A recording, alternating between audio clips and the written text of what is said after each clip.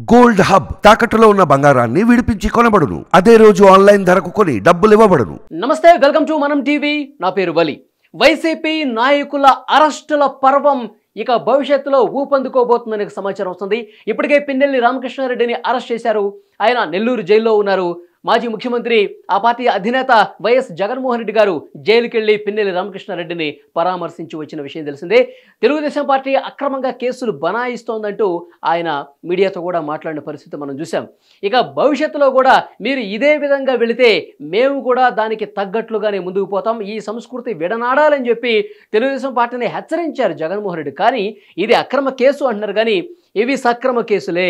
ఇంకా గత ప్రభుత్వంలో చేసినటువంటి అరాచకాలన్నింటికి సంబంధించి అతి త్వరలోనే రోజుల వ్యవధిలోనే కొత్త కేసులు నమోదు కాబోతున్నట్టుగా తెలుస్తోంది. పెన్నెల్లి రామకృష్ణారెడ్డి తర్వాత ఎవరు అరెస్ట్ కాబోతున్నారు? గత ప్రభుత్వానికి సంబంధించిన మాజీ మంత్రులు ఎవరైతే ఉన్నారో వాళ్ళలో తొలి అరెస్టు ఎవరిది కాబోతున్న చర్చ ఇప్పుడు జోరుగా సాగుతున్నటువంటి పరిస్థితి ఉంది. ముఖ్యంగా వాళ్ళలో ద్వారంపూడి చంద్రశేఖర్ రెడ్డి కాకినాడ సిటీ మాజీ ఎమ్మెల్యే ద్వారంపూడి ఎవరైతే ఉన్నారో ఆయన లేదంటే పెద్దిరెడ్డి రామచంద్రారెడ్డి. ఈ రెండు పేర్లు చాలా బలంగా వినిపిస్తున్నటువంటి పరిస్థితి కనిపిస్తుంది. ముఖ్యంగా ద్వారంపూడి చంద్రశేఖర్ రెడ్డికి సంబంధించి కొన్ని ముఖ్యమైన కేసులు ఇప్పుడు నేను మీ వద్ద ప్రస్తావిస్తున్నాను. ఒకటి బియ్యం అక్రమ రవాణాకు సంబంధించి పౌర సరఫరాల శాఖ గిడ్డంగులో ఉన్నటువంటి బియ్యం బస్తాలను దాన్ని పాలిష్ చేసి బంగ్లాదేశ్కి ఇతర యూరోప్ కంట్రీస్ కూడా కాకినాడ పోర్టు వేదికగా ఎందుకంటే కాకినాడ పూర్తిగా ద్వారంపూడి హ్యాండ్ ఓవర్లో ఉండేది. సో ఆ కాకినాడ కేంద్రంగా విదేశాలకు పంపించినట్టు పరిస్థితుంది. అంటే పేద ప్రజలకు దక్కాల్సినటువంటి ఈ బియ్యాన్ని దాన్ని పూర్తిగా పాలిష్డ్ చేసి పంపించే విధంగా విదేశాలకు ఎగుమతి చేసుకునే విధంగా దాన్ని మిల్లింగ్ చేసుకుని అక్కడి నుంచి కాకినాడ పోర్ట్ ద్వారా ఇటు బంగ్లాదేశ్ కావచ్చు శ్రీలంక కావచ్చు ఇతర యూరోపియన్ కంట్రీస్ కూడా పంపించారు.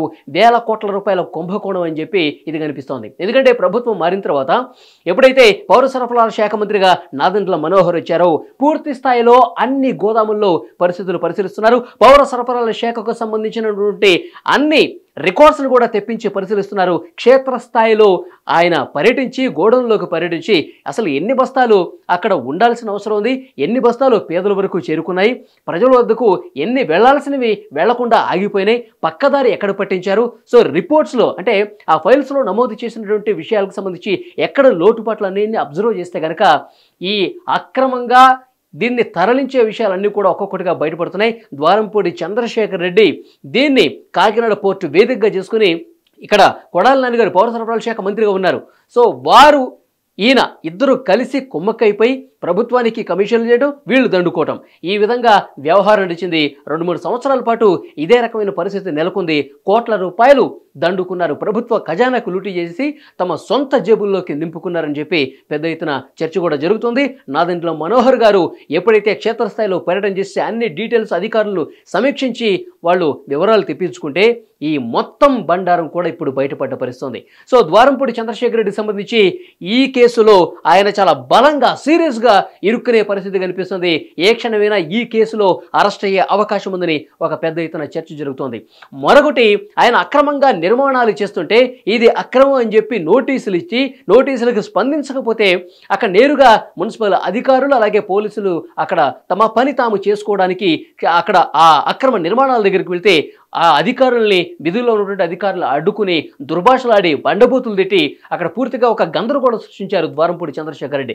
దీని మీద కూడా కేసు నమోదైంది. సో ఈ రెండు కేసుల్లో ఏ క్షణమైనా సరే పోలీసులు వారికి నోటీసులు ఇచ్చి అరెస్ట్ చేసే అవకాశం ఉందని చెప్పి పెద్ద ఎత్తున చర్చ ఉంది ఇక మరొక ముఖ్యమైనటువంటి నాయకుడు పెద్దిరెడ్డి రామచంద్రారెడ్డి సో జగన్మోహన్ రెడ్డి గారికి అత్యంత సన్నిహితంగా ఉన్నటువంటి పెద్దిరెడ్డి రామచంద్రారెడ్డి గారికి సంబంధించి కొన్ని ముఖ్యమైన కేసులు ఉన్నాయి. ఎందుకంటే మొన్న ఫైల్స్ తగలబెట్టిన కేసుకు సంబంధించి చాలా కీలకమైన ఫైల్స్ లభ్యమయ్యాయి. అది ఖనిజాభివృద్ధికి సంబంధించి అంటే ఆంధ్రప్రదేశ్ మైనింగ్ డెవలప్మెంట్ కార్పొరేషన్కి సంబంధించిన కీలకమైనటువంటి పత్రాల్లో వారి ఫోటో కూడా ఉంది. పెద్దిరెడ్డి రామచంద్రారెడ్డి గారి ఫోటో ఉంది. అంటే ఇక్కడ మనకి ఇసుక అక్రమ తవ్వకాలకు సంబంధించి పెద్ద ఎత్తున భూ కుంభకోణం జరిగింది.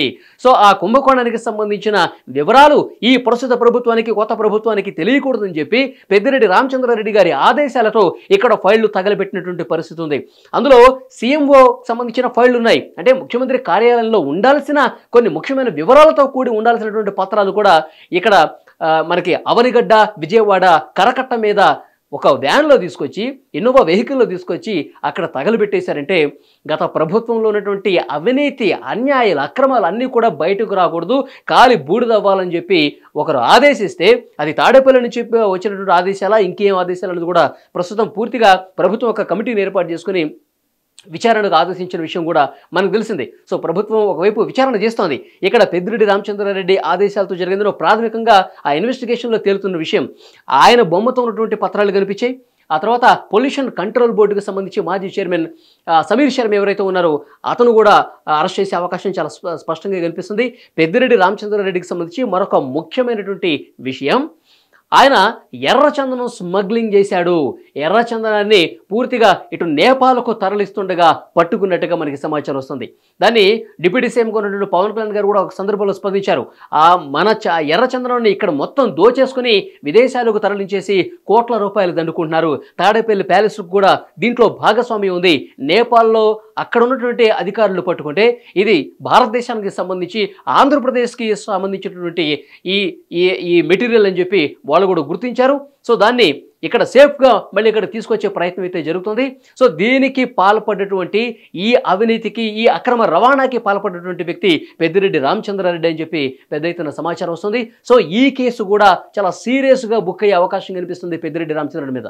ఒకవైపు ఇసుక అక్రమ తవ్వకాలకు సంబంధించి కుంభకోణంలో ఆయనే కీలకంగా వ్యవహరించారు. రాష్ట్ర వ్యాప్తంగా కోట్ల రూపాయలు దండుకుని ఇటు తాడేపల్లి ప్యాలెస్కి ఆయన సొంత జేబులోకి ఈ విధంగా ప్రజా ధనాన్ని ప్రభుత్వ ఖజానాని లూటీ చేసి కోట్ల రూపాయలు దండుకున్నారని చెప్పి పెద్ద ఎత్తున చర్చ. రాష్ట్ర వ్యాప్తంగా ఇసుక సాధారణ ప్రజలకు దక్కకుండా కమిషన్లకు పాల్పడి వేల కోట్ల కుంభకోణానికి పాల్పడ్డ కేసు ఒకటి ఈ అక్రమంగా ఈ ఫైళ్ళు కరకట్ట మీద పడేసి కాల్ చేసిన కేసు ఒకటి ఇట్లా ఎర్రచందనం స్మగ్లింగ్ చేసిన కేసు ఒకటి. ఈ మూడు కేసులు కూడా పెద్దిరెడ్డి రామచంద్రారెడ్డి తలకు చుట్టుకునే అవకాశం చాలా స్పష్టంగా కనిపిస్తుంది. మొత్తం ఈ వ్యవహారాలన్నీ ఇప్పుడు ఒక్కొక్కటిగా వెలుగులోకి వచ్చే అవకాశం కనిపిస్తుంది. మిగతా మంత్రులకు సంబంధించి చాలా కేసులు ఉన్నాయి. చాలా ఇబ్బందికర పరిస్థితులు తీసుకొచ్చారు. ఇటు ప్రజలను ఇబ్బంది పెట్టడమే కాకుండా ప్రభుత్వ ధనాన్ని వేల కోట్ల రూపాయలను దోచేసుకున్నారు. ప్రకృతి వనరులను దోచేసుకున్నారని చెప్పి పెద్ద ఎత్తున చర్చ ఉంది. సో డెఫినెట్గా ముందుగా పిన్నెల్లి తర్వాత అరెస్ట్ అయ్యేది వీరిద్దరే అని చెప్పి చర్చ ఉంది. ద్వారంపూడి చంద్రశేఖర్ రెడ్డి ఒకరు తర్వాత పెద్దిరెడ్డి రామచంద్రారెడ్డి ఇక మిగతా మంత్రుల చిట్టా కూడా బయటకు కదులుతోంది.